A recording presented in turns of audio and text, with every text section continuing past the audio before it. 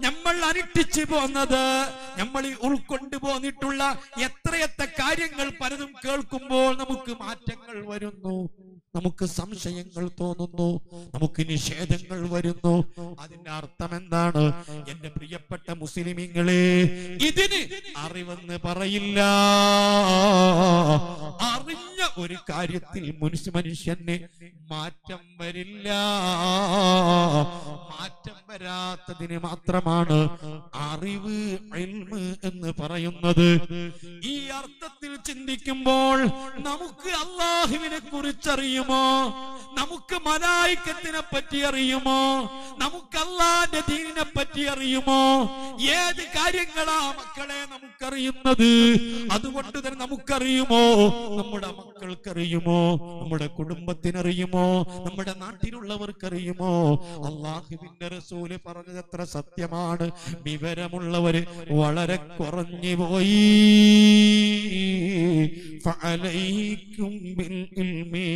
അങ്ങനത്തെ ഒരു കാലം വരുമ്പോ നിങ്ങൾ പരമാവധി അറിവ് പഠിക്കണേ.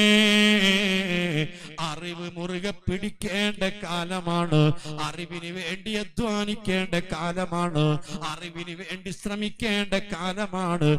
അള്ളാഹുവിന്റെ ദീനിന് വേണ്ടി അള്ളാഹുവിന്റെ പൊരുത്തത്തിന് വേണ്ടി അള്ളാന്റെ പ്രീതിക്ക് വേണ്ടി അള്ളാന്റെ പൊരുത്തം കിട്ടുന്നതിന് വേണ്ടി പടച്ചറപ്പിന്റെ അടുത്ത് രക്ഷപ്പെടുന്നതിന് വേണ്ടി ആഹ്റം രക്ഷപ്പെടുന്നതിന് വേണ്ടി എന്തെങ്കിലും തന്റെ ജീവിതത്തിൽ ചെയ്തു തീർക്കണമെന്ന് ആരെങ്കിലും ആഗ്രഹിക്കുന്നുവെങ്കിൽ കൊതിക്കുന്നുവെങ്കിൽ പ്രതീക്ഷിക്കുന്നുവെങ്കിൽ ഇക്കാലത്ത് ഏറ്റവും കൂടുതൽ ചെയ്യേണ്ടത് അറിവിന് ഹിതമ ചെയ്യലാ. അറിവില്ലാത്തതാ.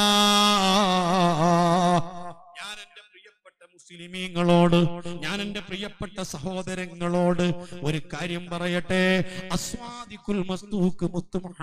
റസൂലുള്ളാഹി അലൈഹി വസല്ലമ. അവിടുന്ന് പറഞ്ഞൊരു ഹദീസ് നിങ്ങളെ ശ്രദ്ധയിൽപ്പെടുത്തുന്നു. റസൂലുള്ളാഹി സ്വല്ലല്ലാഹു അലൈഹി വസല്ലമ മദീനത്തു പള്ളിയിൽ ഇരിക്കുകയാണ് ആ മദീനത്ത് പള്ളിയിൽ ഇങ്ങനെ ഇരിക്കുമ്പോ റസൂലുള്ളാഹിന്റെ അടുത്തേക്ക് ഒരു സ്വഹാബി കയറി വരുന്നു. ആര് വന്നാലും അള്ളാഹുവിന്റെ റസൂൽ സ്വീകരിക്കുന്നു. ആര് വന്നാലും മുത്തുനബി കൈ കൊടുക്കുന്നു. ആര് വന്നാലും റസൂൽ സ്വീകരിച്ചിരുത്തുന്നു. അള്ളാ ഈ ലോകത്ത് ഏറ്റവും നല്ല സൽസ്വഭാവത്തിന്റെ ഉടമ അത് മുത്തുനബിയല്ലേ. മുഹമ്മദുർ റസൂലുള്ളാഹ്. നിങ്ങളെ പോലെ സൽസ്വഭാവമുള്ള ഒരാളില്ല? ഏ നാളെ അള്ളാഹുവിന്റെ അടുത്ത് നാം ചെയ്യുന്ന അമലുകൾ മുഴുവനും തൂക്കും എന്ന് വിശ്വസിക്കുന്നവരാണ് മുസ്ലിമീങ്ങൾ മുസ്ലിമീങ്ങളോടല്ലേ നമ്മൾ സംസാരിക്കുന്നത് നന്മയും തിന്മയും ഒക്കെ എന്താക്കും ഇല്ലേ അതല്ലേ فمن يعمل مثقال ذرة خيرا يرى فأما من ثقلت موازينه فهو في عيشة راضية وأما من خفت موازينه فأمه هاوية മനുഷ്യൻ ചെയ്യുന്ന നന്മയും തിന്മയും തൂക്കുമ്പോൾ ആരുടെ നന്മയാണ് അണുമണി തൂക്കം മുൻതൂക്കമാകുന്നത് അവൻ വലിയ വിജയത്തിലാണ് അപ്പോഴാണ് വിജയിക്കുന്നത് അതേ സമയത്ത് വാമ്മാമൻ ഖഫത്ത് മവാസീനു അണുമണി തൂക്കം തിന്മ കൂടുതലായാൽ ഫഉമ്മുഹു ഹാവിയാ അവന്റെ സങ്കേതം ഹാവിയയാ. ഹാവിയ എന്താണെന്ന് നിങ്ങൾക്കറിയുമോ? നാറുൻ ഹാമിയാ. വളരെ ചിന്തിക്കാൻ പോലും കഴിയാത്ത വിവരിക്കാൻ കഴിയാത്ത ഭയങ്കരമായ നരകമാണേ എന്ന് ഖുർആനിലില്ലേ? നന്മയും തിന്മയും ഉള്ള ആളുകളുടെ നന്മയും തിന്മയും തൂക്കുന്നതാണ്. അതിന് മോനെ ജീവിതത്തിൽ കുറെ നന്മ ചെയ്തിരിക്കണം. എന്നാൽ നിങ്ങൾക്ക് കേൾക്കണോ? നാളെ നന്മയും തിന്മയും തൂക്കുമ്പോൾ എന്റെ ശബ്ദം കേൾക്കുന്ന ഉമ്മമാരറിഞ്ഞിരുന്നെങ്കിൽ എന്റെ ശബ്ദം കേൾക്കുന്ന ചെറുപ്പക്കാരറിഞ്ഞിരുന്നെങ്കിൽ എന്റെ ശബ്ദം കേൾക്കുന്ന മുസ്ലിം സഹോദരന്മാർ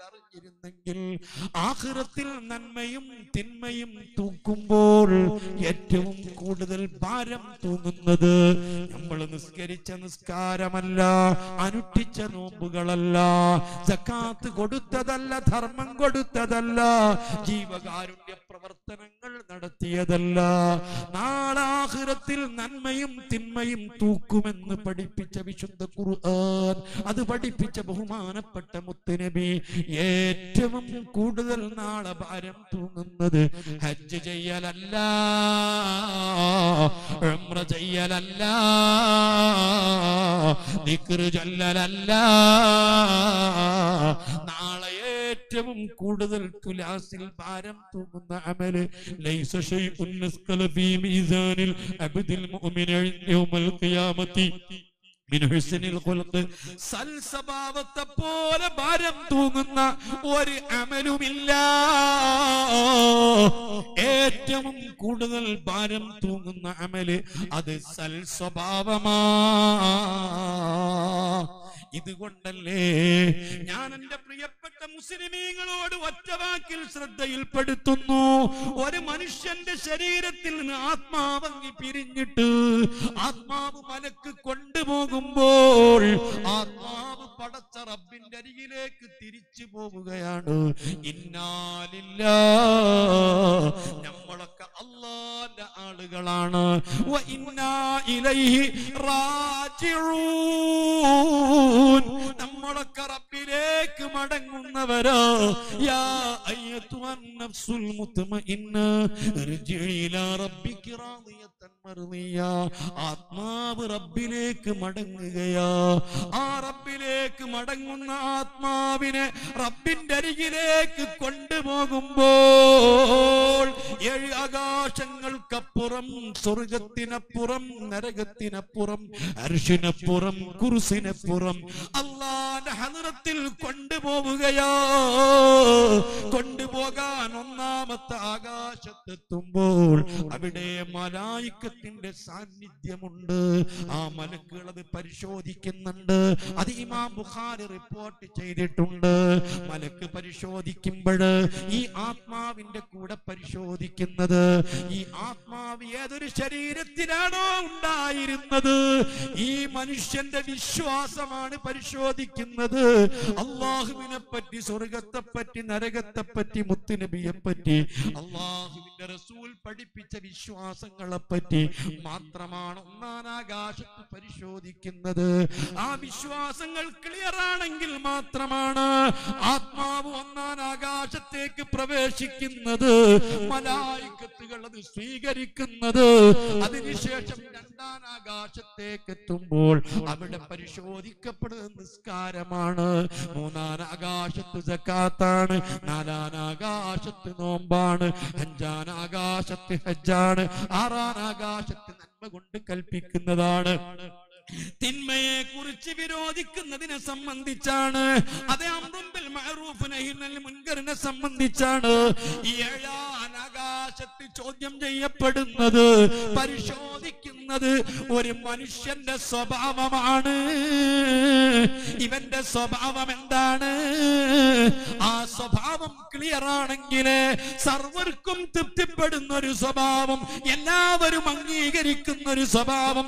ആ സ്വഭാവം ക്ലിയർ ആണെങ്കിലേ ആത്മാവ് അവിടം വിട്ട് മേൽപോട്ട് കയറുന്നുള്ളൂ.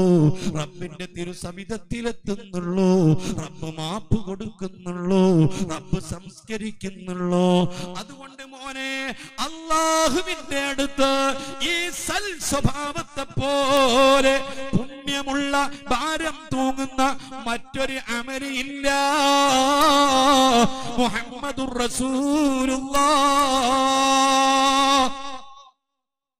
റസൂലുള്ളാഹ് സൽസ്വഭാവം?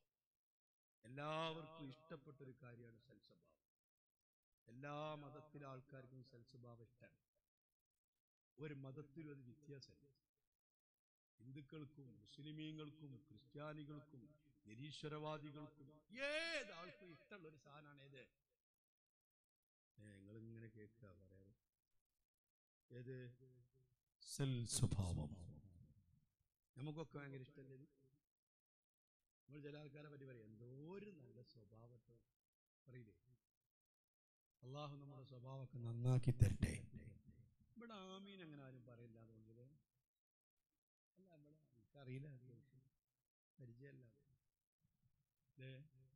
ആമീൻ പറയാൻ അള്ളാഹു തോഫിക്ക് തരട്ടെ.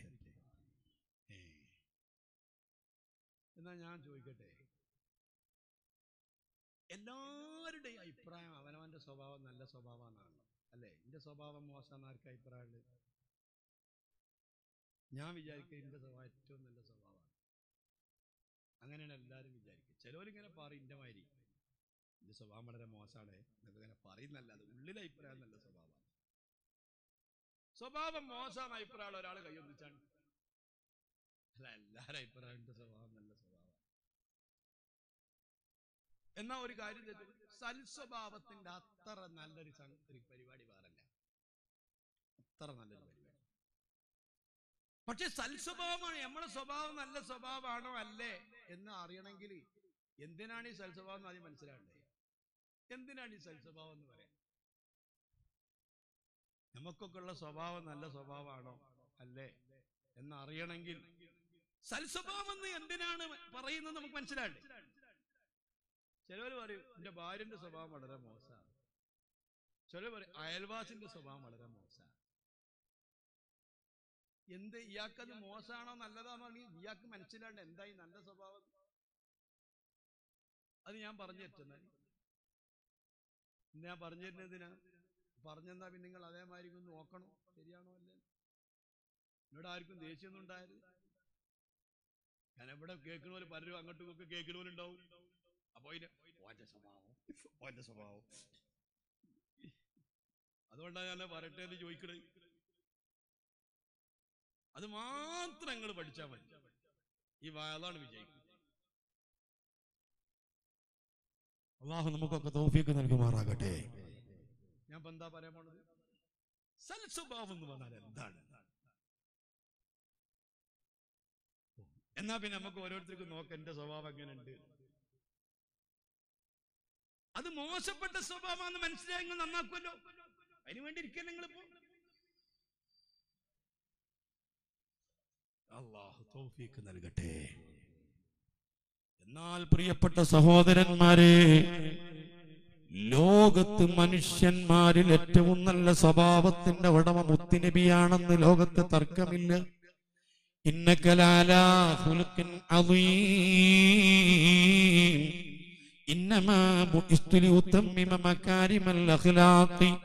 സൽസ്വഭാവം പഠിപ്പിക്കാനാണ് മുത്തുനബി വന്നതിന്റെ പ്രധാനപ്പെട്ട ലക്ഷ്യം.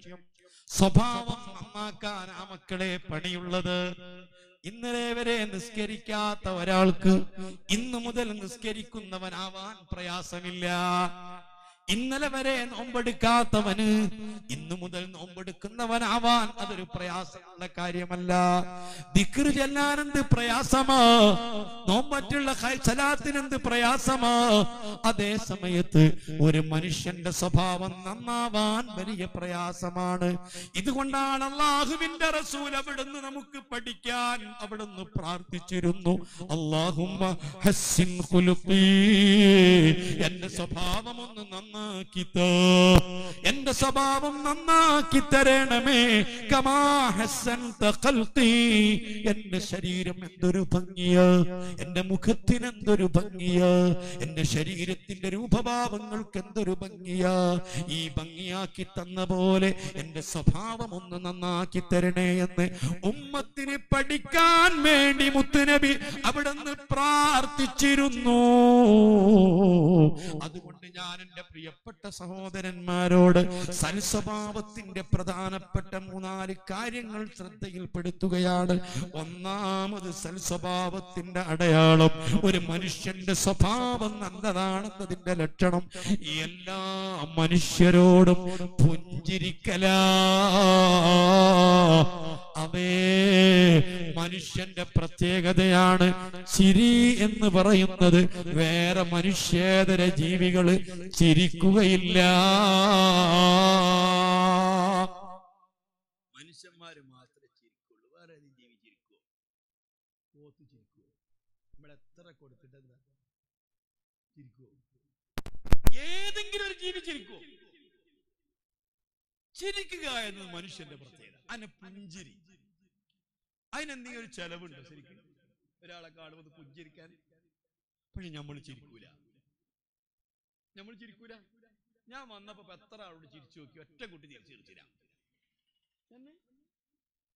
അപ്പൊ എന്നോട് ദേഷ്യം ഉണ്ടായിട്ടൊന്നുമല്ല. പക്ഷെ ചിരി വരണ്ടേ? ഒരു ഒരു മനുഷ്യന്റെ സ്വഭാവം സൽ സ്വഭാവമാണെന്നതിന്റെ ഒന്നാമത്തെ ലക്ഷണം എല്ലാവരോടും ഒരു പുഞ്ചിരി ഉണ്ടാവും. ചെറിയൊരു പുഞ്ചിരി. പുഞ്ചിരിക്കാനേ പാടുള്ളൂ. അത് ഉള്ളിന്ന് വരുന്നത് ആ പുഞ്ചിരി. ചില ആൾക്കാർക്ക് അങ്ങനെ വരുമൊന്നുമില്ല പിന്നെ ഏതായാലും ഉസ്താവ് വയത് പറഞ്ഞല്ലേ ചേച്ചിട്ട് ചെറിയൊരു അതിന്റെ പേ- വേ ഓഫായി പോകും അതിന്റെ പേര് ഇളീന പുഞ്ചിരി വരുന്ന മനസ്സിന്റെ ഉള്ളിൽ നിന്നാണ് നിങ്ങൾക്ക് ചിന്തിച്ച് നമുക്ക് അങ്ങനെ ചിരി വരുന്നുണ്ടോ എന്ന് നോക്കിയാൽ മതി. ആ? നമുക്ക് ഒരാളെ കണ്ടാൽ അങ്ങനെ ചിരി വരുന്നുണ്ടോ? അതിന് ജാതില്ല മതല്ല വംശല്ല വർഗല്ല കുടുംബല്ല ആരോട് ചിരിച്ചൂടെ. എന്താ പനി ചെലവ്? ഒരു ഹൈന്ദവ നന്നായിട്ട് ചിരിച്ചണ്ട ഒരു ചെറിയൊരു പുഞ്ചിരി. ആ മനുഷ്യൻ നല്ല സ്വഭാവത്തിന്റെ ആളാണെന്നതിന് അടയാളാണ് ഇത് പറ്റിയാലും വളരെ പറ്റിയാലും നോക്ക്. നമുക്ക് ശരിക്കും അയ്യോ അമ്മായിമാനെ കാണുമ്പോ മരുവക്ക് ചിരി വരാത്ത എന്താ? മരുവളെ കാണുമ്പോ അമ്മായിമാക്ക് ചിരിയല്ല വരുന്നത് അതുപോലെ തന്നെ നാത്തൂനെ കാണുമ്പോ പുഞ്ചിരി വരുന്നില്ല ചിരി വരുന്നുണ്ട് ഒരു കൃത്രിമ ചിരിയാണ്. പുഞ്ചിരി വരുന്നില്ല എന്താ? സ്വഭാവത്തിന് സാറ് അയൽവാസിനെ കാണുമ്പോ പുഞ്ചിരി വരുന്നില്ല. ആരെ കാണുമ്പോ ചിരി വരുന്നില്ല. എന്നാൽ ചിലരെ കാണുമ്പോ നമുക്ക് വരുന്നുണ്ട്. നമുക്ക് അറിയിട്ടല്ല അപ്പൊ നമ്മുടെ സ്വഭാവത്തിന്റെ മോശം തന്നെയാണ്. ഇന്ന് ഈ സദസ്സിന് തീരുമാനിച്ചോ സർവ ആളുകളോടും പുഞ്ചിരിക്കുക. അതൊരു ധർമ്മമാണ് പഠിപ്പിച്ച നേതാവാണ് മുസ്തഫ. അബൂദർ തങ്ങളോട് മുത്തിനെ പറഞ്ഞു അബൂദറേ ലാ മിനൽ മഅറൂഫി ശൈആ. ഒരു നല്ല കാര്യത്തെയും നീ നിസ്സാരമായിട്ട് കാണരുതേ അബൂദറേ. നിന്റെ സുഹൃത്തിനെ കാണുമ്പോ നിന്റെ സഹോദരനെ കാണുമ്പോ അയൽവാസിയെ കാണുമ്പോ നിന്റെ കൂട്ടുകാരനെ കാണുമ്പോ നിന്നെ മറ്റൊരാളെ കാണുമ്പോ ഒരു പ്രസന്നമായ മുഖത്തോടുകൂടി അവനെ അഭിമുഖീകരിക്കുന്നത് ഒരു നല്ല കാര്യമാണ് അബൂദറേ. അത് നിസ്സാരമാക്കി തള്ളിക്കളയല്ല. ഞാൻ വിശദീകരിക്കുന്നില്ല ഒരുപാട് വിശദീകരിക്കേണ്ടതുണ്ട്. ഒന്നാമത്തെ എണ്ണി എണ്ണി പറയുകയാണ് ഒരാളുടെ സൽസ്വഭാവത്തിന്റെ ഒന്നാമത്തെ ലക്ഷണം അതാണ് പുഞ്ചിരിക്കല. അതേ സമയത്ത് എപ്പോഴും ഇങ്ങനെ ചിരിക്കരുത് ചിരിപ്പിക്കരുത് ചിരിക്കരുത്. അള്ളാഹുവിന്റെ റസൂൽ പറഞ്ഞിട്ടുണ്ട് അല്ലാ മറ്റേ കൂടുതൽ ചിരിക്കരുത്. ലാ തുക്സിരിൽ ളിഹ്ക ഫഇന്ന കസറത്തുൽ ളിഹ്ക തുമീത്തുൽ ഖൽബാ കൂടുതൽ ഇങ്ങനെ ചിരിക്കരുത്. ചിരിക്കാനുള്ള അവസരങ്ങൾ ഉണ്ടാക്കരുത്. ചിരിക്കാനുള്ള കോമഡികൾ കാണരുത്. ആളുകളെ വെറുതെ പറഞ്ഞ് ചിരിപ്പിക്കരുത്. കൂടുതൽ കൂടുതൽ ചിരിക്കുന്നത് കൊണ്ട് നിന്റെ കൽബ് അത് നശിച്ചു പോകുന്നതാണ്. അത് ചത്തുപോകുന്നതാണ് അത് ജീവം അത് സജീവമാകുന്നതല്ല. എന്നല്ലാന്റെ റസൂൽ പറഞ്ഞിട്ടുണ്ട് ബഹുമാനപ്പെട്ട ബീബി ആയിഷത്ത് റളിയല്ലാഹു അൻഹ പറയുന്നത് കാണാം.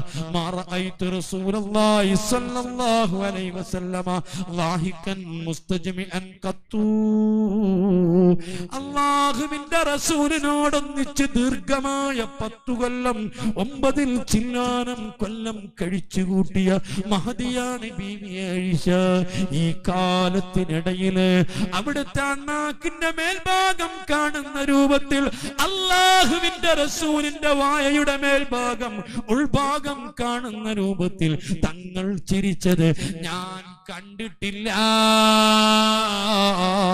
കാണുകയാണെങ്കിൽ കാണേണ്ടിയിരുന്നത് ബീവി ആയിഷയാ അത്രയും വാ പൊളന്ന് ചിരിക്കരുത് പൊട്ടി പൊട്ടി ചിരിക്കരുത്. കൂടുതൽ കരയാനുള്ള രംഗങ്ങളാണ് നാം ഓർക്കേണ്ടത് അതിനെ കുറിച്ചാ കൂടുതൽ ചിന്തിക്കേണ്ടത്? അതേ സമയത്ത് ഏതൊരു മുസ്ലിമായ സഹോദരനെ കാണുമ്പോഴും മോനെ നീ ഒന്ന് പുഞ്ചിരിക്കണേ. അത് നിന്റെ സ്വഭാവത്തിന്റെ മഹിമയുടെ മേൽ അടയാളമാണേ. രണ്ടാമത്തെ കാര്യം കൂടി ഞാൻ പറഞ്ഞോട്ടെ മറ്റുള്ളവരിൽ നിന്നുണ്ടാകുന്ന പ്രയാസങ്ങളും പീഡനങ്ങളും മറ്റുള്ളവരിൽ നിന്നുണ്ടാകുന്ന ബുദ്ധിമുട്ടുകൾ അത് സഹിക്കല. സഹിക്കാൻ നിനക്ക് കഴിയുമോ? സഹിക്കലുണ്ടോ? ഭർത്താവിൽ നിന്ന് ഒരുപാട് പ്രയാസങ്ങൾ ഭാര്യക്കുണ്ടാവാം ഭാര്യമാരിൽ നിന്ന് ഭർത്താക്കൾക്ക് പ്രയാസങ്ങൾ ഉണ്ടാവാം മക്കളിൽ നിന്ന് മാതാപിതാക്കൾക്കുണ്ടാവാം. മാതാപിതാക്കളിൽ നിന്ന് മക്കൾക്കുണ്ടാവാം. സ്നേഹിതനിൽ നിന്ന് സ്നേഹിതന്മാർക്കുണ്ടാവാം. അയൽവാസിയിൽ നിന്ന് അയൽവാസികൾക്കുണ്ടാവാം. ആരിൽ നിന്നെല്ലാം നിനക്ക് പീഡനങ്ങളും പ്രയാസങ്ങളും ബുദ്ധിമുട്ടുകളും ഉണ്ടാകുന്നുണ്ടോ? അത് സഹിക്കലാണ് മോനെ സൽസ്വഭാവം അത് പറയലല്ല അതിന് പ്രതികരിക്കലല്ല അതിന് എന്തെങ്കിലും മറുപടി ചെയ്യലല്ല പ്രതികാരം ചെയ്യലല്ല. സൽ സ്വഭാവമുണ്ടോ?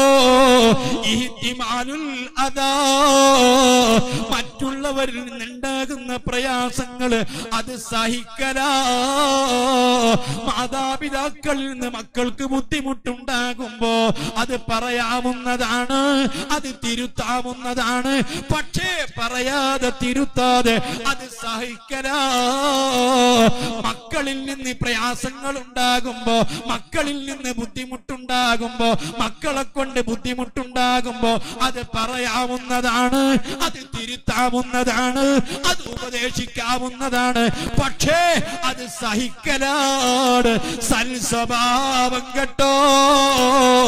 ഭാര്യമാരിൽ നിന്ന് ഭർത്താക്കന്മാർക്ക് ബുദ്ധിമുട്ടുണ്ടാകുമ്പോ അത് പറയാവുന്നതാണ് അത് തിരുത്താവുന്നതാണ് അത് ഉപദേശിക്കാവുന്നതാണ്. പക്ഷേ അത് സഹിക്കലാണ്. സൽസ്വഭാവം കേട്ടോ.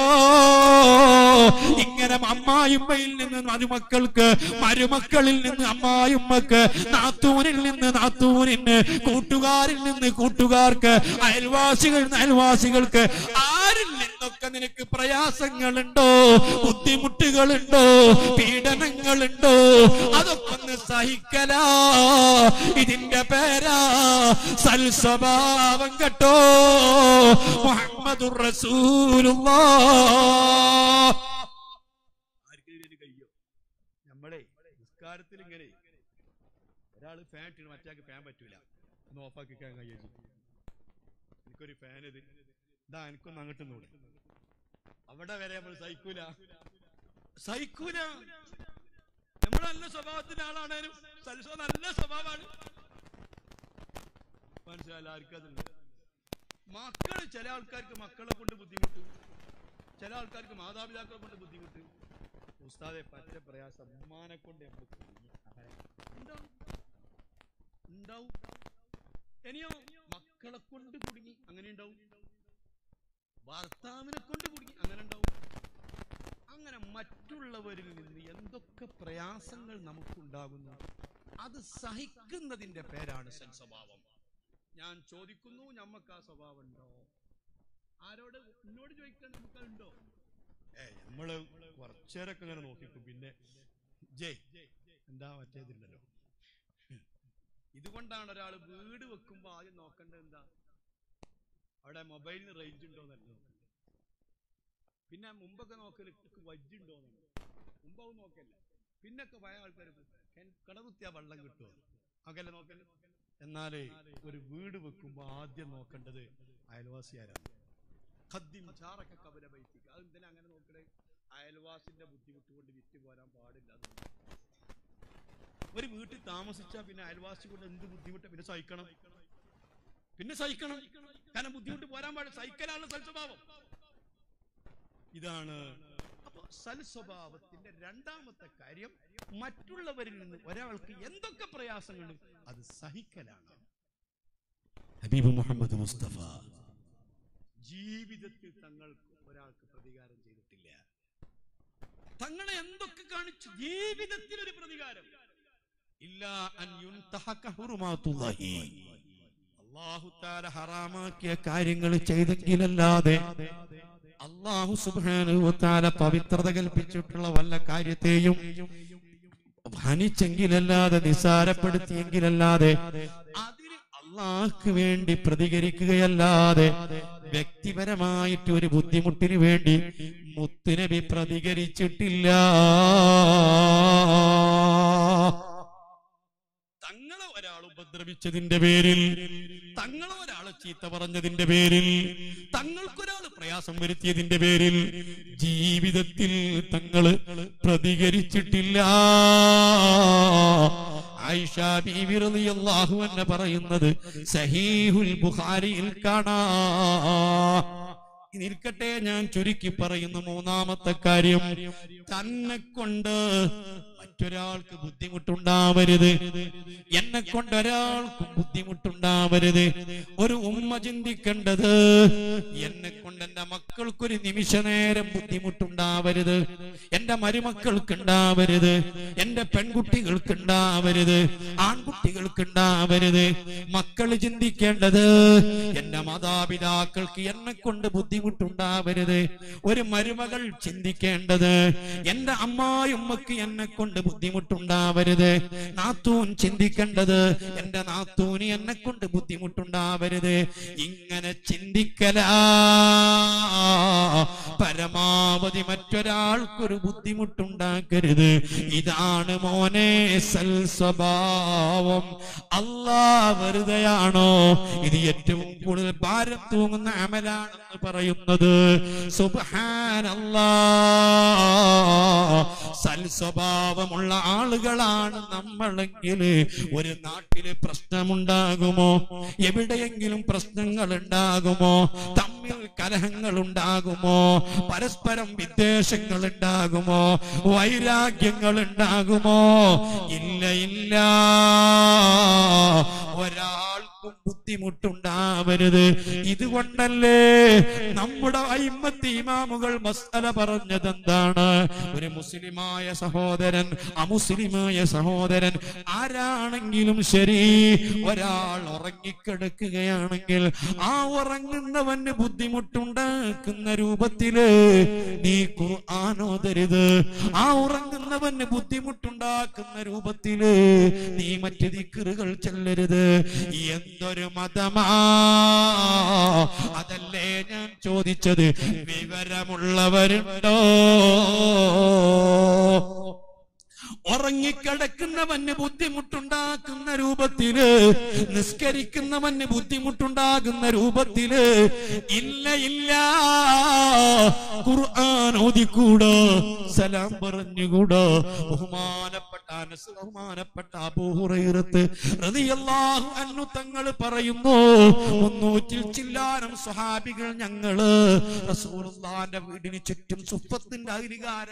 കിടന്നുറങ്ങലാ മദീനത്തെ പള്ളിയിലെ മുത്തല്യമീങ്ങൾ എന്ന് പറയാ ആ പള്ളിയുടെ പരിസരത്ത് ഞങ്ങൾ കിടന്നുറങ്ങുമ്പോൾ അള്ളാഹുവിന്റെ റസൂൽ രാത്രിയിൽ വരുമ്പോൾ തങ്ങൾ സലാം പറയുമ്പോൾ ഒരു ഉറക്ക് കിടക്കുന്ന ഒരാളെയും തങ്ങൾ ഉണർത്തൂല. ഉണരാൻ പറ്റുന്ന രൂപത്തിൽ ഉറക്ക തങ്ങൾ സലാം പറയൂല. എന്നാൽ ഉണർന്നിരിക്കുന്നവര് തങ്ങൾ കേൾപ്പിക്കുന്നതാണ്. മറ്റൊരാൾക്ക് ഒരു ആരാവട്ടെ അവൻ ഒരു വിധത്തിലും ബുദ്ധിമുട്ടുണ്ടാക്കരുത്. ബുദ്ധിമുട്ടുണ്ടാക്കുന്ന രൂപത്തിൽ സലാം പറയരുത് എന്ന് പഠിപ്പിച്ച ബഹുമാനപ്പെട്ട റസൂലുള്ള. നിന്റെ പ്രഭാഷണം കൊണ്ട് നിന്റെ ഖുർആാനോത്ത് കൊണ്ട് നിന്റെ മറ്റുള്ള കാര്യങ്ങളെ കൊണ്ട് ഒരാൾക്കും ബുദ്ധിമുട്ടുണ്ടാക്കരുത്. ഉറങ്ങിക്കിടക്കുന്ന കുട്ടികൾക്ക് ബുദ്ധിമുട്ടുണ്ടാക്കരുത്. ഉറങ്ങുന്നവർക്ക് ശല്യമുണ്ടാക്കരുത് എന്ന് പഠിപ്പിച്ചതാണ് കേട്ടോ നമ്മുടെ അയിമത്ത്. നിങ്ങൾക്ക് ബോധമുണ്ടോ? എന്തൊരു മതമാ? അതാണ് മോനെ സൽ സ്വഭാവം. നാലാമത്തെ ഒരു കാര്യം കൂടി ഞാൻ പറയട്ടെ. ഒരാളിൽ നിന്നും ഒന്നും ഇങ്ങോട്ട് ലഭിക്കണമെന്ന് ആഗ്രഹിക്കരുത്. പെങ്ങളിൽ നിന്ന് കിട്ടണം ആങ്ങളയിൽ നിന്ന് കിട്ടണം ഉപ്പയിൽ നിന്ന് കിട്ടണം ഉമ്മയിൽ നിന്ന് കിട്ടണം അയൽവാസികളിൽ നിന്ന് കിട്ടണം മറ്റേ ആളിൽ നിന്ന് കിട്ടണം ഒരാളിൽ നിന്നും ഒന്നും ഇങ്ങോട്ട് ലഭിക്കണം എന്ന് ആഗ്രഹിക്കരുത്. നാട്ടുകാരിൽ നിന്ന് കിട്ടണം എന്നൊരാളും ആഗ്രഹിക്കരുത്. മറ്റുള്ളവന്റെ ഔദാര്യം കിട്ടണമെന്ന് ആഗ്രഹിക്കാതിരിക്കലാണ് മോനെ സൽസ്വഭാവം അതേ സമയത്ത് മറ്റൊരാൾ എന്തെങ്കിലും തന്നാലോ നൽകിയാലോ വളരെ സ്നേഹത്തോടെ ആദരവോടെ താല്പര്യത്തോടെ അത് നിങ്ങൾ സ്വീകരിക്കണേ. വേണ്ടെന്ന് പറയരുത് തന്നവനെ നിസാരപ്പെടുത്തരുത് അവനെ വെറുപ്പിക്കരുത് അവനെ അതൊരിക്കലും നിരാശപ്പെടുത്തരുത് എന്ന് പഠിപ്പിച്ച റസൂലുള്ളാ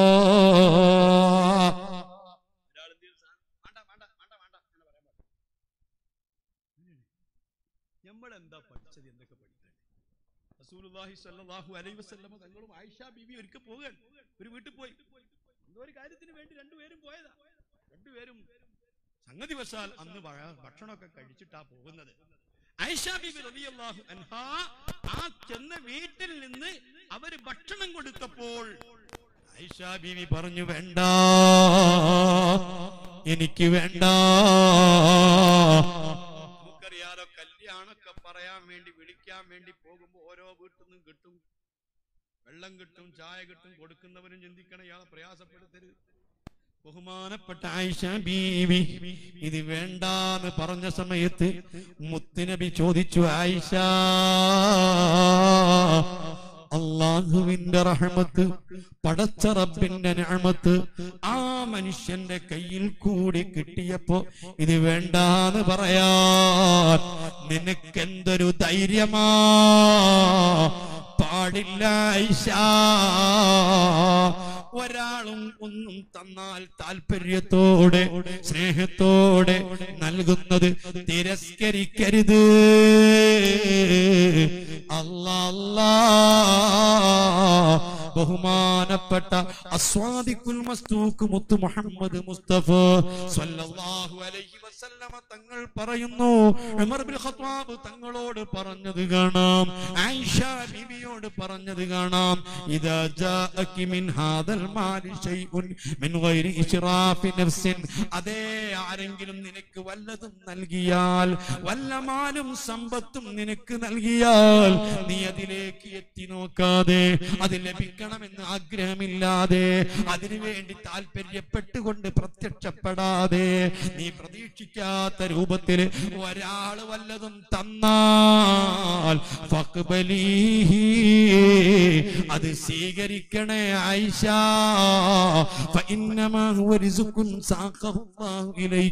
അള്ളാഹു നിനക്ക് നൽകുന്നതാ. നൽകാൻ തോന്നിപ്പിച്ചതല്ലയാ. നൽകാൻ അവന് കൊടുത്തതല്ലയാ. അല്ലാഹു നൽകുന്നതാ. അത് തിരസ്കരിക്കല്ല. അതേ സമയം സമയത്ത് ഒരാളിൽ നിന്നും തന്നെ എന്തെങ്കിലും എനിക്ക് ലഭിക്കണമെന്ന് ആഗ്രഹിക്കല്ല. പരമാവധി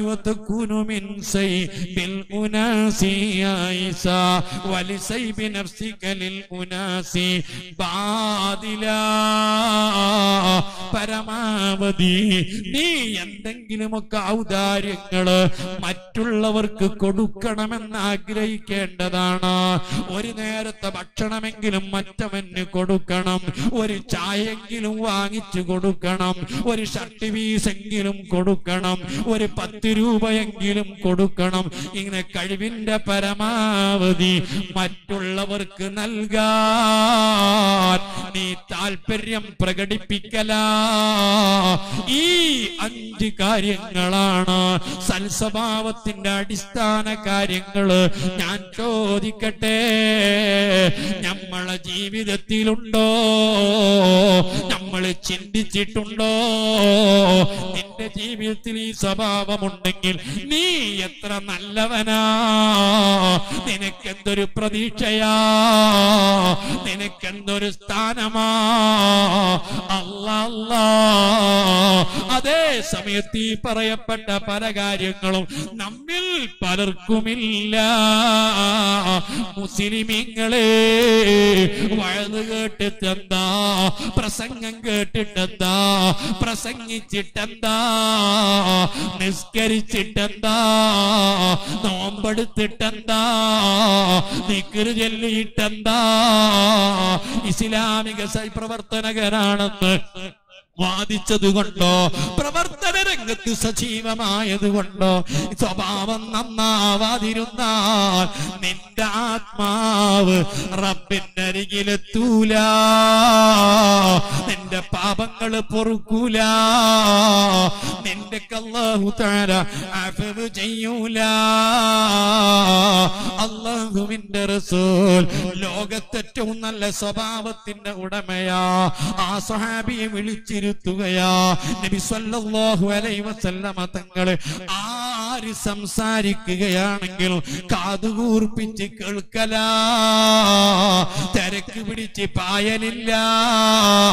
മുഖം കൊടുക്കാതിരിക്കലില്ല. ആരെങ്കിലും തങ്ങളെ കൈപിടിച്ചാൽ അവരങ്ങ് കൈവിടുക എന്നല്ലാതെ തങ്ങൾ വലിക്കലില്ല. കൈവലിക്കലില്ല. എഴുന്നേറ്റ് പോകലില്ല. പറയേണ്ടത് മുഴുവനും പറഞ്ഞു തീരുന്നത് വരെ തങ്ങളത് കേൾക്കല. വളരെ സമാധാനത്തോടെ മറുപടി പറയല. ആരും തങ്ങളോട് സംസാരിക്കുമ്പോ ആരോടാണോ പറയുന്നത്? അവർ കേൾക്കാനുള്ള ഉച്ചത്തിലാ തങ്ങൾ സംസാരിച്ചിരുന്നത്. രണ്ടാളോട് സംസാരിക്കുമ്പോ മൂന്നാമത്തൊരാൾ അത് കേൾക്കലില്ല.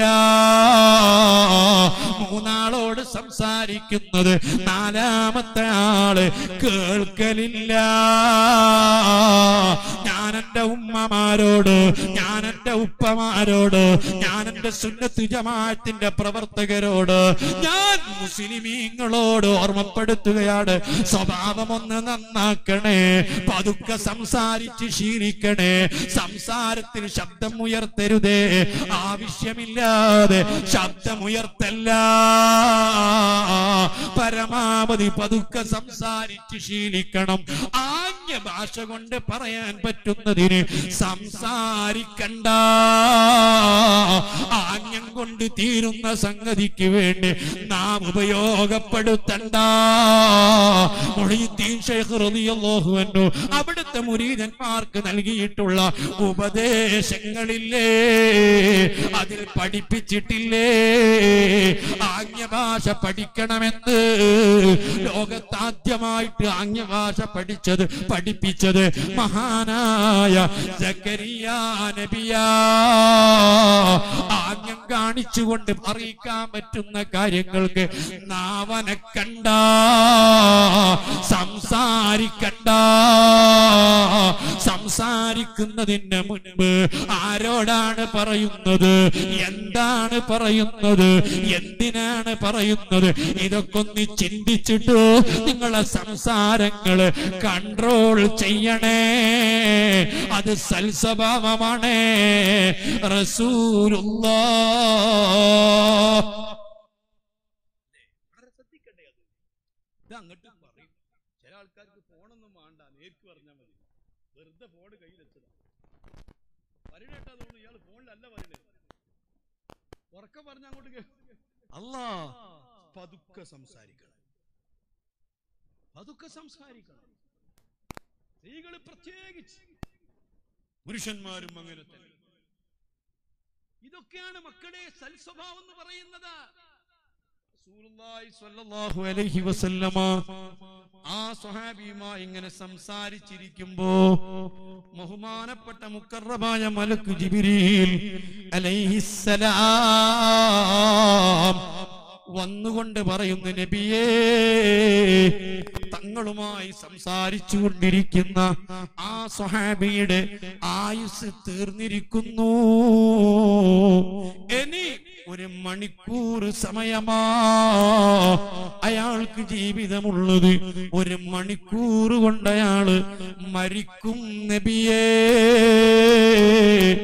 തങ്ങളയാളൊന്നറിയിക്കുമോ? മുഹമ്മദുർ റസൂലുള്ളാഹി. ആ സ്വഹാബിയ വിവരം അറിയിക്കുകയാണ് അല്ലാ ഒരു മണിക്കൂർ ഒരാളെ ജീവിതം തീരുമെന്ന് കേൾക്കുമ്പോ നാം പേടിക്കൂലേ? ആ സ്വാഭിബോധം കെട്ടി വീഴുകയാണ്. ഡോക്ടർമാരുടെ പ്രവചനം പോലെയല്ല. ഡോക്ടർമാര് പറയുന്നത് പോലെയല്ല.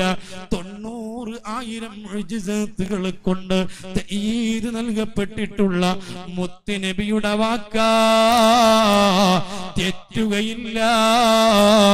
അള്ളാഹുവിന്റെ റസൂൽ ജനിക്കുന്നതിന്റെ എഴുന്നൂറ് കൊല്ലം മുമ്പ് ജീവിച്ചു മരിച്ചു പോയ കഴുബ് അവിടുത്തെ ഏഴാമത്തെ ഉപ്പ കഴുബ് പാടിയതാണ്.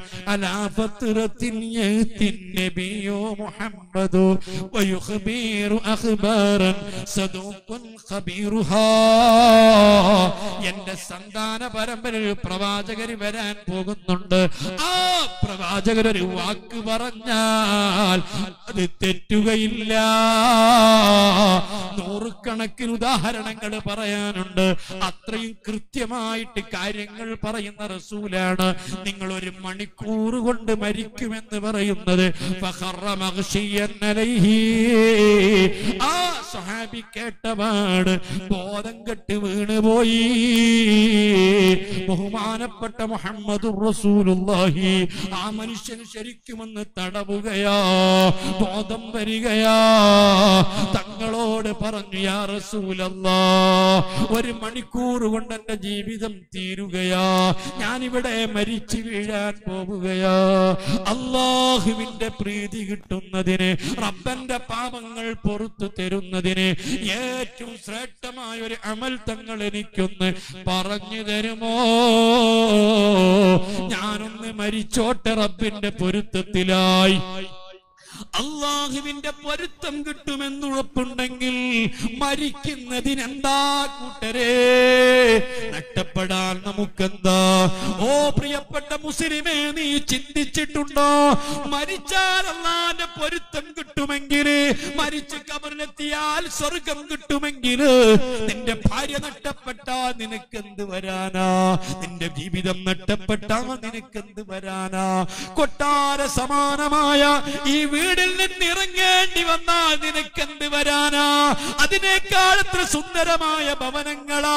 ഇതിനേക്കാൾ എത്ര സുന്ദരികളായ ഭാര്യമാരാ.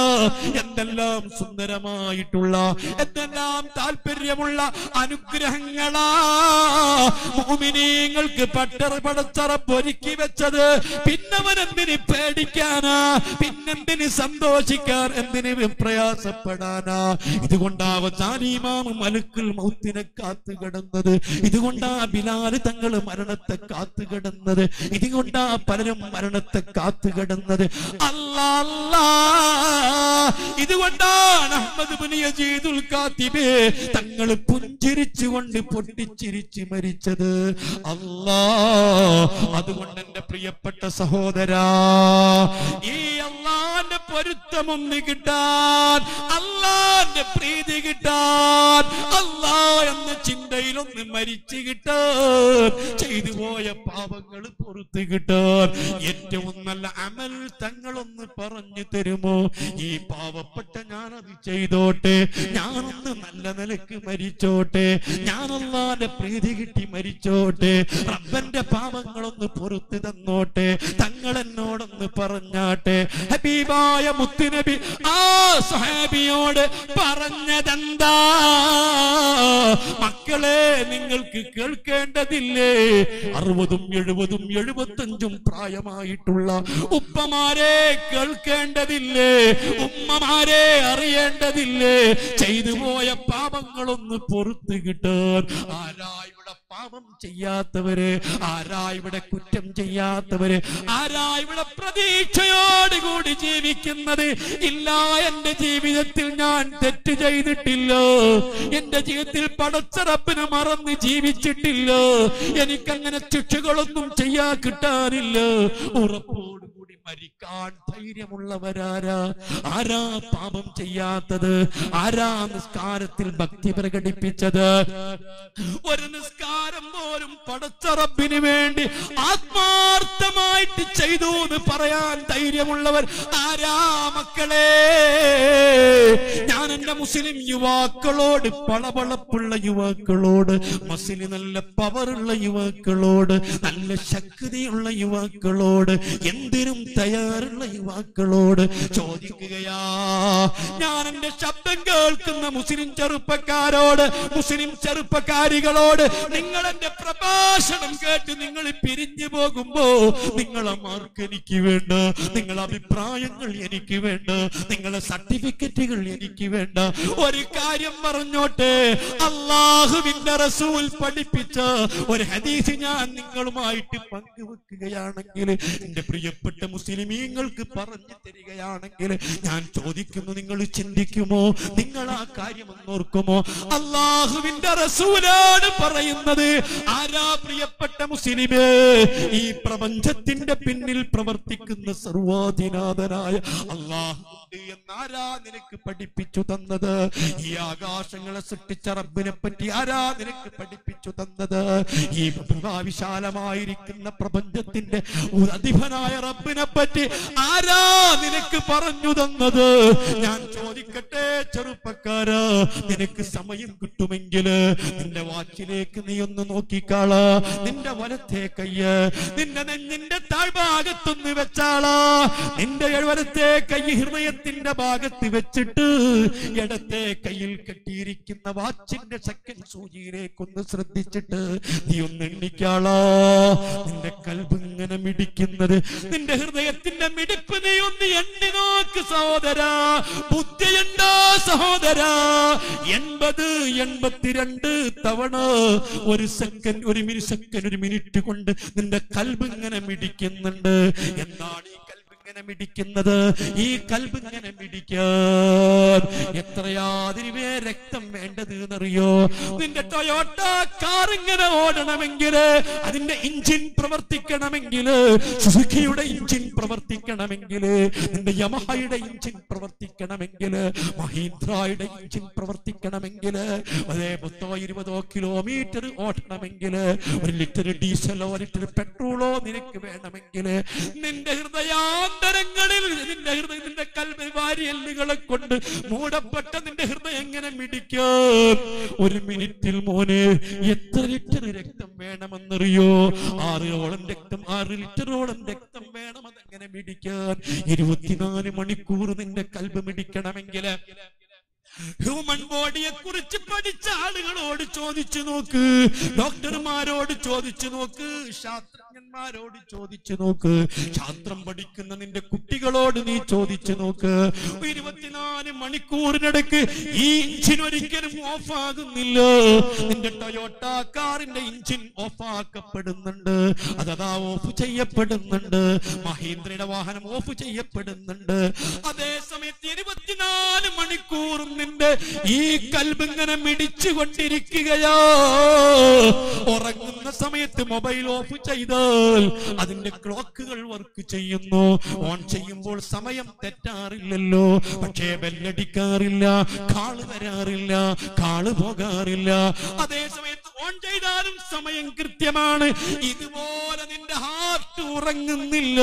നിന്റെ കൽബുറങ്ങുന്നില്ല നിന്റെ കൽബ് ഇങ്ങനെ പ്രവർത്തിച്ചു കൊണ്ടിരിക്കുകയാ.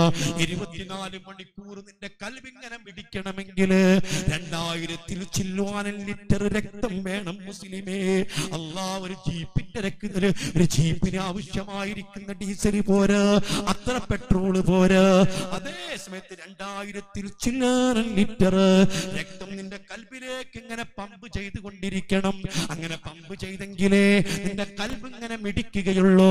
അല്ലാ ഒരു മനുഷ്യന്റെ ശരീരം മൊത്തം രക്തം അങ്ങ് ഊറ്റുകയാണെങ്കിൽ ഏറി വന്നാൽ അഞ്ചോ ആറോ ലിറ്റർ രക്തമാ ഉണ്ടാകുന്നത്. ബാക്കി എന്താ ചെയ്യുന്നത്? അതിനുവേണ്ടി നിന്റെ സിട്ടാവായ റബ്ബുൽ ഇജ്ജത്ത് ആ കൽബിന്റെ തൊട്ടടുത്ത് രണ്ട് കിഡ്നിയെ സൃഷ്ടിച്ചിരിക്കുകയാ. ഈ ശരീരത്തിലേക്ക് ചെയ്യുവാ? സപ്ലൈ ചെയ്തുകൊണ്ടിരിക്കുന്ന. ആ രക്തം തന്നെ വീണ്ടും ശുദ്ധീകരിച്ചിട്ട് ഈ രണ്ട് കിഡ്നികൾ നിന്റെ കൽബിലേക്ക് വീണ്ടും തരുന്നു. ഇതെല്ലാം സൃഷ്ടിച്ചുകൊണ്ട് പ്രവർത്തിപ്പിച്ചു കൊണ്ടിരിക്കുന്ന ഒരു റബ്ബിനെ കുറിച്ചറിയുമോ? എൺപതും എൺപത്തഞ്ചും വയസ്സ് വരെ ജീവിച്ചിട്ട് നിന്റെ കിഡ്നിക്ക് കംപ്ലൈന്റ് ഇല്ല. എന്റെ ഹാർട്ടിന് കംപ്ലൈന്റ് ഇല്ല. എന്റെ ഹൃദയത്തിന് കംപ്ലൈന്റ് ഇല്ല. എഴുപത്തിരണ്ടായിരം കിലോമീറ്റർ നീളമുള്ള ചെറിയ നരമ്പാണ് മോനെ. പ്രിയപ്പെട്ട സുഹൃത്ത് നിന്റെ ആ കിണ്ണിയിൽ പടച്ച റബ്ബ് അടക്കി മടക്കി വെച്ചിട്ടുള്ളത് എഴുപത്തിരണ്ട് മീറ്റർ അല്ല. എഴുപത്തിരണ്ട് കിലോമീറ്റർ അല്ല. എഴുപത്തിരണ്ടായിരം കിലോമീറ്റർ അകലത്തിലേക്ക് ചുരാ നീട്ടാൻ പറ്റുന്ന നിവർത്താൻ പറ്റുന്ന വലിച്ചു നീട്ടാൻ പറ്റുന്ന അത്രയും വലിയ ഞരമ്പുകളാ പടച്ചറബ് മടക്കി വെച്ചത്. ഇതെല്ലാം സൃഷ്ടിച്ച റബ്ബ് തആല ഹബീബായ പഠിപ്പിക്കുകയാ. നാളെ പടച്ച റബ്ബിന്റെ മുൻപിലേക്ക് നിന്നെ കൊണ്ടുവന്നിട്ട് ഈ അടിമയോട് ചോദിക്കുകയാ അല്ലാ അല്ലാ നിനക്ക് ഞാൻ എന്തെല്ലാം അനുഗ്രഹങ്ങൾ ചെയ്തു? നിനക്ക് ഞാൻ ഇത്ര സുന്ദരമായ ശരീരം തന്നോ? നിനക്ക് നല്ല മസിലിന് പവർ തന്നോ? നിന്റെ കണ്ണിന് കാഴ്ച തന്നോ? നിന്റെ ഹൃദയത്തിന് ഞാൻ ശക്തി തന്നോ? നിനക്ക് നല്ല ബുദ്ധി തന്നോ? നിന്റെ കയ്യിന് കരുത്ത് തന്നോ? നിന്റെ കാലുകൾക്ക് നല്ല മസിലി പവർ തന്നോ? എന്തെല്ലാം തന്ന് മുസ്ലിമേ? എന്തെല്ലാം ഈ ആരോഗ്യം കൊണ്ട് ഈ ബുദ്ധി കൊണ്ട് ഈ കണ്ണുകൊണ്ട് ഈ കാതുകൊണ്ട് ഈ തന്ന അനുഗ്രഹങ്ങൾ കൊണ്ട് നീ നേടി. വീണ്ടും അല്ല ചോദിക്കുന്നതിന് പുറമെ നിനക്ക് എന്തുമാത്രം സമ്പത്ത് തന്നു? എന്തെല്ലാം സുഖങ്ങൾ തന്നു? എന്തെല്ലാം സൗകര്യങ്ങൾ തന്നു? മാത്രമല്ല. അതിന് പുറമെ ഞാൻ നിനക്ക് ഗ്രന്ഥങ്ങൾ ഇറക്കി തന്നു പ്രവാചകന്മാരെ നിനക്ക് അയച്ചു തന്നു പണ്ഡിതന്മാരെ നിന്നിലേക്ക് എത്തിച്ചു തന്നു പണ്ഡിതന്മാർ നിനക്ക് ബോധം തന്നു അള്ളാഹുവിനെ പറ്റി അള്ളാന്റെ അനുഗ്രഹങ്ങളെ പറ്റി എല്ലാം നിനക്ക് ബോധവൽക്കരണം നടത്തുന്ന പണ്ഡിതന്മാർ നിന്നിലേക്ക് ഞാൻ എത്തിച്ചു തന്നു ഇതെല്ലാം ഞാൻ നിനക്ക് ചെയ്തിട്ട് നീ എന്തു ചെയ്തടാ എന്തൊക്കെ എനിക്ക് വേണ്ടി ചെയ്തത്. എനിക്ക് വേണ്ടി എന്താ നീ ചെയ്തത്? ഞാനോ ചിന്തിക്കണം നീയോ ചിന്തിക്കണം. പെങ്ങളെ ചിന്തിക്കണം ചെറുപ്പക്കാരാ ചിന്തിക്കണം. ഈ മനുഷ്യൻ പറയുന്നു അല്ലാ നീ തന്നതെല്ലാം പരമാവധി ഞാൻ പോഷിപ്പിച്ചിട്ടുണ്ട്. നീ തന്ന ആരോഗ്യം നിലനിർത്താൻ ശ്രമിച്ചിട്ടുണ്ട്. അതിന് ആഹാരം കഴിച്ചിട്ടുണ്ട്. അതിന് പലതും പലതും ഞാൻ ചെയ്തിട്ടുണ്ട്. എന്റെ ആരോഗ്യം നിലനിർത്തുന്നതിന് വേണ്ടി എന്റെ കണ്ണിന്റെ കാഴ്ച പരമാവധി ശക്തിപ്പെടുത്തുന്നതിന് വേണ്ടി എന്റെ നാവിന്റെ വാചാലത ശക്തിപ്പെടുത്തുന്നതിന് വേണ്ടി എന്റെ കയ്യിന്റെ മസിൽ പവർ ശക്തിപ്പെടുത്തുന്നതിന് വേണ്ടി എന്റെ ബോഡി ഫിറ്റ് ആക്കുന്നതിന് വേണ്ടി എന്റെ മസിലിന് ശക്തി കൂട്ടുന്നതിന് വേണ്ടി എന്റെ ശരീരത്തിലേക്ക് വ്യായാമം കിട്ടുന്നതിന് വേണ്ടി എന്തൊക്കെയാ ഞാൻ ചെയ്തത്? കാലത്തെ എഴുന്നേറ്റിട്ട് എത്രയാ ഞാൻ ഓടിയത്? എത്രയാ ഞാൻ ഫുട്ബോൾ കളിച്ചത്? എത്രയാ ഞാൻ ക്രിക്കറ്റ് കളിച്ചത് എന്തൊക്കെയാണ് ആരോഗ്യത്തിന് വേണ്ടി ഞാൻ ചെയ്തത്? അല്ലാ, നീ തന്ന സമ്പത്ത് കൊണ്ട് എത്രയാ ഞാൻ പുരോഗതി ഉണ്ടാക്കിയത്? എത്ര കച്ചവടമാ ചെയ്തത്? എന്റെ പ്രിയപ്പെട്ട ഉപ്പായിൽ നിന്ന് എനിക്ക് കിട്ടിയ അനന്തര സ്വത്തിനേക്കാൾ കൂടുതൽ എന്റെ മക്കൾക്ക് ഞാൻ ഉണ്ടാക്കി വെച്ചിട്ടുണ്ട്. എന്റെ ഉപ്പ എനിക്ക് വേണ്ടി ഇത്ര വലിയ വീടുണ്ടാക്കിയിട്ടുണ്ടായിരുന്നില്ല. ഇത്ര സൗകര്യപ്രദമായ വീട് എന്റെ ഉപ്പ എനിക്ക് നിർമ്മിച്ചുകൊണ്ട് മരിച്ചു പോയതല്ല എന്റെ ഉപ്പ ഉണ്ടാക്കി വെച്ചതിനേക്കാൾ സുന്ദരമായ വീടുകൾ ഞാൻ ഉണ്ടാക്കിയിട്ടുണ്ട്. എന്റെ ഉപ്പ വാങ്ങിക്കൂട്ടിയ ഭൂമിയേക്കാൾ കൂടുതൽ ഭൂമി എന്റെ മക്കൾക്ക് വേണ്ടി ഞാൻ വാങ്ങിക്കൂട്ടിയിട്ടുണ്ട്. എന്റെ ഉപ്പ എനിക്ക് ഉണ്ടാക്കി വെച്ച സൗകര്യങ്ങളെക്കാൾ കൂടുതൽ എന്റെ മക്കൾക്ക് ഞാൻ സൗകര്യങ്ങൾ ഉണ്ടാക്കിയിട്ടുണ്ട്. എന്റെ പ്രിയപ്പെട്ട ഉപ്പ എനിക്ക് തന്ന വിദ്യാഭ്യാസത്തെക്കാൾ കൂടുതൽ എന്റെ പ്രിയപ്പെട്ട മക്കൾക്ക് ഞാൻ വിദ്യാഭ്യാസം കൊടുത്തിട്ടുണ്ട്. എന്റെ പ്രിയപ്പെട്ട ഉപ്പ എനിക്ക് വാങ്ങി തന്നിട്ടുള്ള ഡ്രസ്സിനേക്കാൾ നല്ല ഡ്രസ്സുകൾ എന്റെ മക്കൾക്ക് വാങ്ങിക്കൊടുത്തിട്ടുണ്ട്. എന്റെ ഉപ്പ എന്നെ ഏത് രൂപത്തിലാണോ വളർത്തിയത് ഏത് രൂപത്തിലാണോ എന്റെ പ്രിയപ്പെട്ട ഉപ്പ എന്നെ നോക്കിയത് അതിനേക്കാൾ കൂടുതൽ എന്റെ മക്കൾക്ക് ഞാൻ സൗകര്യങ്ങൾ ഒരുക്കിയിട്ടുണ്ട്. അവർക്ക് വേണ്ടി വീടുകൾ ഉണ്ടാക്കി വെച്ചിട്ടുണ്ട് അവർക്ക് വേണ്ടി വരുമാനങ്ങൾ ഉണ്ടാക്കി വെച്ചിട്ടുണ്ട് അവർക്ക് വേണ്ടി സൗകര്യങ്ങൾ ഏർപ്പെടുത്തിയിട്ടുണ്ട്. അല്ല അല്ല. ഓരോന്നോരോന്നായിട്ട് പടച്ചറപ്പിനോട് എട്ടി എട്ടി പറയുമ്പോ നിങ്ങൾ കേൾക്കുന്നത് കെട്ടുകഥകളല്ല നിങ്ങൾ കേൾക്കുന്നത് ഐവീഷയുടെ സംവിധാനമല്ല. നിങ്ങൾ കേൾക്കുന്നത് മൂർഖനാട് ഹനീഫയുടെ നോവലല്ല. നിങ്ങൾ കേൾക്കുന്ന കേവലം ചിത്രീകരണങ്ങളല്ല. എനിക്കും നിങ്ങൾക്കും കണ്ണി ചിമ്പിയാൽ നാളെ പടച്ചറബിന്റെ അടുത്തെത്തുമ്പോൾ അനുഭവിക്കാനുള്ള യാഥാർത്ഥ്യങ്ങളാ. അള്ളാഹു ചോദിക്കുന്നടോ? അതൊന്നും ഞാൻ നിന്നോട് ചോദിച്ചിട്ടില്ല. ഇതെല്ലാം ചെയ്തതാ ഞാൻ. എനിക്ക് വേണ്ടി താൻ എന്താ ചെയ്തത്? എനിക്ക് വേണ്ടി നീ എന്താണ് ചെയ്തത് എന്ന് ചോദിക്കുമ്പോ ഈ മനുഷ്യൻ വീണ്ടും വീണ്ടും എണ്ണി പറയുന്നു എന്റെ ആരോഗ്യം ഞാൻ സംരക്ഷിച്ചിട്ടുണ്ട്. അതിനുവേണ്ടി ഞാൻ പരമാവധി ചെയ്തിട്ടുണ്ട്. എന്നെ തേച്ച് മിനുക്കിയിട്ടുണ്ട്. പല കെമിക്കലുകളും ഉപയോഗപ്പെടുത്തിയിട്ടുണ്ട്. പലതും ഞാൻ അതിനു വേണ്ടി സഹിച്ചിട്ടുണ്ട്. പക്ഷേ വീണ്ടും വീണ്ടും അവൻ എണ്ണി എണ്ണി പറയുമ്പോൾ മക്കളെ അള്ളാഹുവിന്റെ ചോദ്യം ഇതൊന്നും ചോദിച്ചില്ല. എനിക്ക് വേണ്ടിയിട്ട് എന്താ ചെയ്തത്? ആ മനുഷ്യൻ അള്ളാനോട് പറയുന്നതാ. ഇതൊക്കെ ഞാൻ എന്റെ മക്കൾക്ക് വേണ്ടി വെച്ചിട്ടാ പോന്നത്. അനന്തരാവകാശികൾക്ക് ഉപേക്ഷിച്ചിട്ടാ പോന്നത്. എന്റെ കുടുംബത്തിന് ബാക്കി വെച്ചിട്ടാ പോന്നത്. എന്റെ മക്കൾക്ക് വേണ്ടി ഉപേക്ഷിച്ചിട്ടാ പോന്നത്. നീ എന്നെ എണ്ണോ ദുനിയാവിലേക്കൊന്ന് വിടുകയാണെങ്കിൽ ഒരിക്കൽ കൂടി ദുനിയാവിലേക്ക് നീ എന്നെ തിരിച്ചയക്കുകയാണെങ്കിൽ. അത് മുഴുവനും ഞാൻ നിനക്ക് കൊണ്ടുവരാ. എന്റെ സമ്പത്ത് മുഴുവനും നിനക്ക് കൊണ്ടുവരാ. ആരോഗ്യം മുഴുവനും ഞാൻ നിനക്ക് തരാ. എന്റെ മസിൽ മുഴുവനും ഞാൻ നിനക്ക് ഉപയോഗപ്പെടുത്താ എന്ന് പറയുമ്പോ അള്ളാഹു പറയുമെന്ന് പഠിപ്പിച്ചതാരാ? റസൂലുള്ളാ. അതൊന്നും കേൾക്കണ്ടടാ ആ മനുഷ്യൻ അള്ളാഹുവിന് വേണ്ടി ചെയ്തതായിട്ട് ഒന്നും ഉണ്ടാവില്ല ഞാൻ നീയും നിസ്കരിച്ചത് പടച്ച റബ്ബിനാണെന്ന് പറയാൻ പറ്റുമോ? ധർമ്മം കൊടുത്തത് അള്ളാക്കാണെന്ന് പറയാൻ പറ്റുമോ? ഹജ്ജ് ചെയ്ത് അള്ളാക്കാണെന്ന് പറയാൻ പറ്റുമോ? ആത്മാർത്ഥമായിട്ട് പടച്ച റബ്ബിന് വേണ്ടി ചെയ്തതായിട്ട് പറയാൻ വല്ലതുമുണ്ടോ? ഒന്നും ഉണ്ടാവില്ല ഒരു ഹൈറും ഉണ്ടാവില്ല ബിഹി. അവനോട് വിചാരണ പോലുമില്ല. അവനെ നന്മതിന്മ തൂക്കുന്നില്ല. അവനെ നേരിട്ട് നരകത്തിലേക്ക് കൊണ്ടുപോകുമെന്ന് അള്ളാഹുവിന്റെ റസൂൽ പറഞ്ഞിട്ടുണ്ട് മുസ്ലിമിങ്ങളെ. ചെറുപ്പക്കാരെ ചിന്തിക്കുന്നത് നല്ലതാ.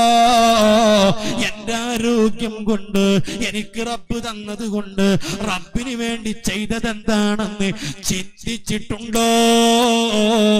അല്ലാ പതിനെട്ടും ഇരുപതും ഇരുപത്തഞ്ചും മുപ്പതും മുപ്പത്തഞ്ചും നാൽപ്പതും അമ്പതും വയസ്സ് ആരോഗ്യത്തിൽ ജീവിച്ച മുസ്ലിമിങ്ങളില്ലേ? ഉമ്മമാരില്ലേ? ഉപ്പമാരില്ലേ? സിട്ടിച്ചറപ്പിന് വേണ്ടിയിട്ടാണ് ചെയ്തതെന്ന് പറയാൻ ആത്മാർത്ഥതയോടുകൂടി പറയാൻ വല്ലതും ചെയ്തു വെച്ചിട്ടുണ്ടോ? ഓർമ്മയിലുണ്ടോ പ്രതീക്ഷയിലുണ്ടോ? ചിന്തിച്ചിട്ടുണ്ടോ? വല്ലതും ചെയ്തു വെച്ചിട്ടുണ്ടോ?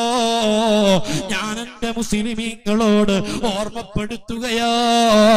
അതുകൊണ്ട് മോനെ പടച്ച റബ്ബിന്റെ പൊരുത്തം കിട്ടാൻ റബ്ബിന്റെ മകഫിരത്തു കിട്ടാൻ റബ്ബിന്റെ പാപമോചനം കിട്ടാൻ അള്ളാന്റെ സന്തോഷം കിട്ടാൻ എന്ത് ചെയ്തു വെച്ചു നാ പ്രതീക്ഷയുള്ളത്? എന്ത് ചെയ്തിട്ടുണ്ട് നാ പ്രതീക്ഷയുള്ളത്? ഇല്ല ഇല്ല. അതുകൊണ്ട് അല്ലാ എന്റെ പാപങ്ങളൊന്ന് പൊറത്ത് കിട്ടാൻ എന്റെ ദോഷങ്ങളൊന്ന് പൊറത്ത് കിട്ടാൻ സിട്ടിച്ചറപ്പിന്റെ പൊരുത്തം കിട്ടാൻ ഏറ്റവും ശ്രേഷ്ഠമായിട്ടുള്ള ഒരു അമൽ തങ്ങളൊന്ന് പറഞ്ഞു തരുമോ? മുസ്ലിമീങ്ങളെ ഞാനിതാ നിങ്ങളെ ശ്രദ്ധയിൽപ്പെടുത്തുകയാ. ഞാനിതാ ചെറുപ്പക്കാരാ നിന്നോട് പറയുകയാ. ആരോഗ്യത്തിന് നല്ല പവർ ഉണ്ടല്ലേ? കണ്ണിന് നല്ല കാഴ്ചയുണ്ടല്ലേ? ബുദ്ധിക്ക് നല്ല ശക്തി ഉണ്ടല്ലേ നല്ല ഓർമ്മശക്തി ഉണ്ടല്ലേ കാൽ നല്ല പവർ ഉണ്ടല്ലേ? അല്ല ഏത് ഫുട്ബോൾ ഗ്രൗണ്ടിലും നിനക്ക് മണിക്കൂർ കണക്കിനോടാ നല്ല ശക്തിയുണ്ടല്ലേ? എന്തിനും കഴിയുമല്ലേ? നാവിന് നല്ല പവർ ഉണ്ടല്ലേ? എന്തൊക്കെ ശക്തിയുണ്ടടാ? എന്തൊക്കെ പവർ ഉണ്ടടാ? എന്തൊക്കെ കഴിവുണ്ടടാ? എന്തൊക്കെ സ്വാധീനമുണ്ടടാ? ഇതൊക്കെ തന്നതാരടാ? ചിന്തിച്ചിട്ടുണ്ടടാ? ചെയ്തിട്ടുണ്ടടാ? തന്നവനെ ഓർത്തിട്ടുണ്ടടാ? റബ്ബിനെ ചിന്തിച്ചിട്ടുണ്ടടാ. പലരെയും നീ ചിന്തിച്ചിട്ടില്ലേ? പലരും മരിച്ചു വീണത് കണ്ടിട്ടില്ലേ? പലരെയും കെട്ടിക്കൊണ്ടുപോയത് കണ്ടിട്ടില്ലേ? അതുകൊണ്ട് ഹബീബായ മുത്തുനബിയോട് ഈ സഹാബി ചോദിച്ച ചോദ്യത്തിന്റെ മറുപടി ഞാനൊന്ന് പറയട്ടെ സഹോദരാ. ഞാനൊന്ന് പറയട്ടെ ഉമ്മമാരെ. ഞാനൊന്ന് പറയട്ടെ ഉപ്പമാരെ. ഞാൻ എന്റെ പ്രസംഗം നിർത്തി.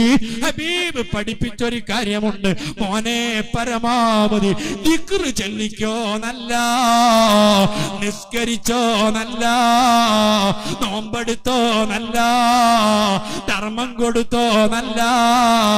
അള്ളാഹ് റസൂല സാഹിബിയോട് പറഞ്ഞത് എന്തെങ്കിലും റബ്ബിനെ പറ്റി പഠിച്ചോ മോനെ? ആഹ്റത്തെ പറ്റി പഠിച്ചോ മോനെ? കൊണ്ട് ശുഗലാവുക ആഹിറമറിയുമോ? അള്ളാഹുവിനെ കുറിച്ചറിയുമോ? മലക്കുകളെ പറ്റി അറിയുമോ? സിറാത്ത് ബാലമറിയുമോ വല്ല ആഹിറത്തെ പറ്റി വല്ല വിവരവും അറിയുമോ? ആഹിറത്തെ പറ്റി വല്ലതും ഇൽമ് പഠിച്ചോ? ചോദിക്കട്ടെ ഈ പഠിച്ചത് മറ്റുള്ളവർക്ക് പഠിപ്പിച്ചു കൊടുക്കാൻ ഈ സഹാബിക്ക് സമയമില്ല. പഠിച്ചതനുസരിച്ച് അമൽ ചെയ്യാനും എനി സമയമില്ല. ഹദീസ് റിപ്പോർട്ട് ചെയ്തിട്ടുള്ള അനസുബിന് മാലിക് തങ്ങൾ പറയുകയാണ് അല്ല ആ സഹാബി മരിച്ചിട്ട് മയ്യത്ത് ഞങ്ങൾ കുളിപ്പിച്ചിട്ട് നിസ്കാരം ഞങ്ങൾ നിർവഹിച്ചിട്ട് കബറടക്കം ഞങ്ങൾ ചെയ്തിട്ട് അതിനുശേഷമാ അന്ന് ഞങ്ങൾ മകരിവ് നിസ്കരിച്ചത് അപ്പോഴേക്ക് സകലതും അവിടെ കഴിഞ്ഞു പോയി എന്തേ നിങ്ങൾക്ക് ബോധ്യം വന്നത്? എന്തേ നിങ്ങൾ മനസ്സിലാക്കിയത്? എന്തേ നിങ്ങൾ കേട്ടത്? അള്ളാന്റെ പ്രീതി കിട്ടാൻ റബ്ബിന്റെ പൊരുത്തം കിട്ടാൻ പപ്പിന്റെ മകസുരത്ത് കിട്ടാൻ അറിവ് പഠിക്കുന്നതിനോളം അറിവ് കേൾക്കുന്നതിനോളം അറിവിന് ഹൃദമ ചെയ്യുന്നതിനോളം അറിവാളന്മാരെ സ്നേഹിക്കുന്നതിനോളം പുണ്യമുള്ള മറ്റൊരു കാര്യം നമുക്ക് ചെയ്യാനില്ല. അതുകൊണ്ടാണ് കോട്ടുമല കോട്ടുമലയായത്. അതുകൊണ്ടാണ് കേരളത്തിലുള്ള മുസ്ലിമീങ്ങൾ കോട്ടുമല എന്ന് കേൾക്കുമ്പോഴേക്ക് രോമാഞ്ചമുണ്ടായത്. പവറ്? ഈ കോട്ടുമല പ്രദേശത്തുള്ള സർവ മുസ്ലിമീങ്ങളോട് സർവ മുമിനീങ്ങളോട് സർവ രക്ഷിതാക്കളോട് സർവ സഹോദരങ്ങളോട് സർവ സഹോദരിമാരോട് ഇൽമു കൊണ്ട് മുറുകെ പിടിച്ചോ? അതിനെ കാലമാ. ഇൽമു വല്ലാതെ നഷ്ടപ്പെട്ടു പോയി. വിവരമുള്ളവരില്ല. ആഹൃത്തെ പറ്റി ബോധമുള്ളവര് നമ്മുടെ നാട്ടിലില്ല. കുടുംബത്തിനില്ല. മക്കളിലില്ല കൂട്ടുകാരിലില്ല പ്രസംഗിക്കാൻ ആളുകൾ കൂടുതലാ. അതേ വല്ല ആചാരമുള്ളവര് കൂടുതലാ. റബ്ബിനെ പറ്റി അറിയുന്നവരോ ആഹൃത്തെ പറ്റി അറിയുന്നവരോ മലക്കുകളെ പറ്റി അറിയുന്നവരോ കബറിനെ പറ്റി അറിയുന്നവരോ? സിറാത്തുപാലത്തെ പറ്റി അറിയുന്നവരോ? വരാൻ പോകുന്ന ജീവിതത്തെ കുറിച്ച് വിവരമുള്ളവരോ? നമ്മുടെ നാട്ടിലില്ല. അതുകൊണ്ട് ബോധമില്ല. കണ്ണു കുടിക്കുന്നതിന് മടിയില്ല. വ്യഭിചരിക്കുന്നതിന് മടിയില്ല. തീൻ പൊളിക്കുന്നതിന് മടിയില്ല. മുസ്ലിമീങ്ങൾ അള്ളാഹു സുബാനുവത്താല നമ്മളെയൊക്കെ നന്നാക്കി തരട്ടെ ഇതിന്റെ യാഥാർത്ഥ്യം സമയം കഴിഞ്ഞു നിർത്തുകയാണ്. എന്റെ പ്രിയപ്പെട്ട സഹോദരന്മാരെ നിങ്ങൾ ഓർത്തു നോക്കൂ സമൂഹത്തിൽ ശരിക്കും ചിന്തിച്ചു നോക്കൂ. ഈ ഈ മഹല്ലത്തിന് തൊണ്ണൂറ്റൊമ്പത് പോയിന്റ് ഒമ്പത് ഒമ്പത് ശതമാനം